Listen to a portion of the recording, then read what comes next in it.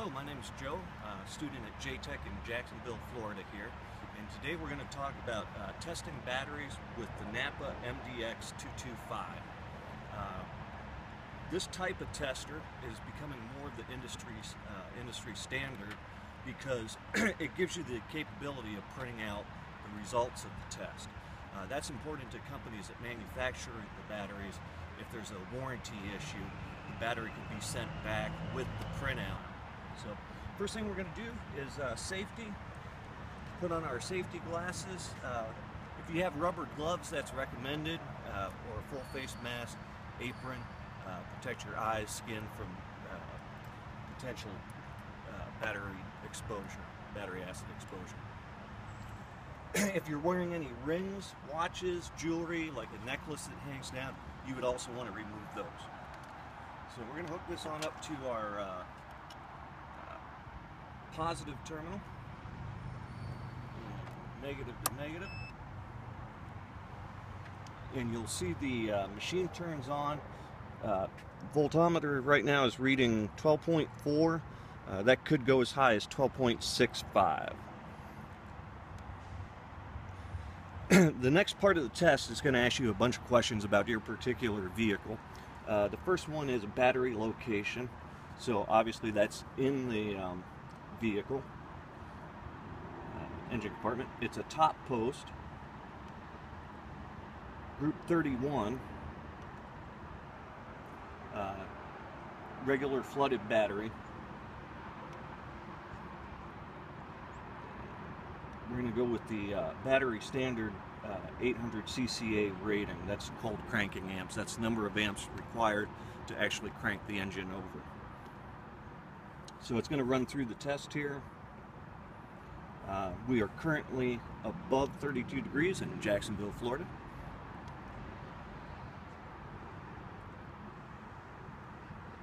And this is going to be before charge.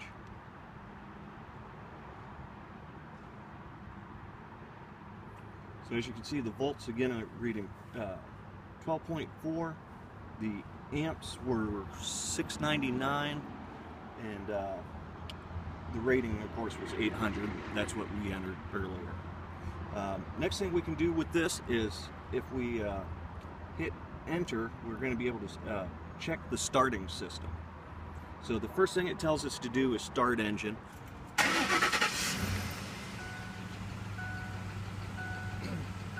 Cranking was normal. Press enter for the charging test.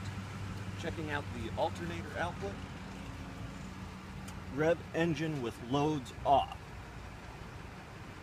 So for this I'm going to shut the door just to make sure a dome light isn't on or something along those lines.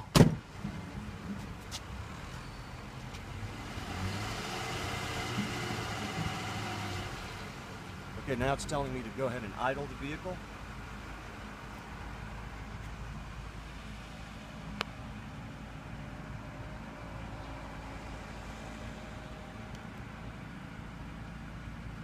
Testing the alternator at idle with the loads off. Now it's asking for uh, high beams here and blower motor.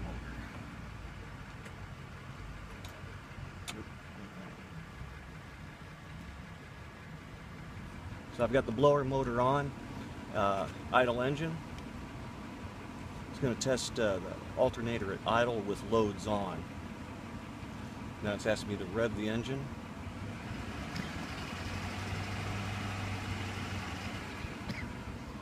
Uh, now it's telling me to go back down to engine idle. Turn the loads off.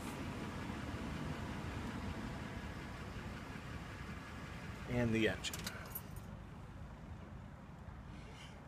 Enter. Charging system had no problems. You can see the no load. Uh, the alternator looks like it was putting out 14.09 uh, volts and with it loaded it was putting out 13.91 uh, which is within uh, standards. All right, well, that's basically how you use the uh, Napa MDX225, test your uh, auto battery and starting system.